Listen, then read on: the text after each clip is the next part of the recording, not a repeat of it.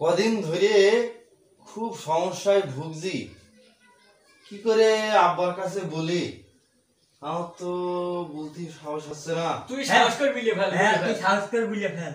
এখান করে করল?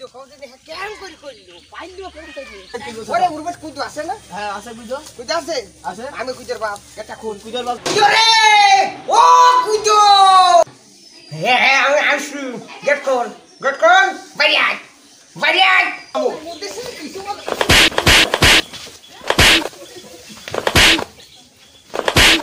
ভুল নেই বুঝার ভুল নেই।